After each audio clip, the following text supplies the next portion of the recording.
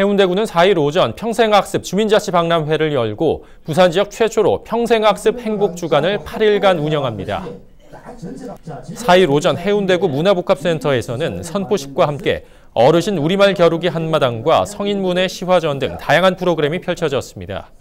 오는 8일에는 대천공원 야외광장에서 관내 평생학습 유관기관과 동아리 동주민센터에서 참여해 평생학습 함께해서 더 커지는 행복을 주제로 펼쳐질 예정입니다. 또한 11일에는 해운대구 문화복합센터에서 개그맨 전유성 씨의 초청으로 발상의 전환, 고정관념을 깨자라는 주제의 강연회가 개최될 예정입니다.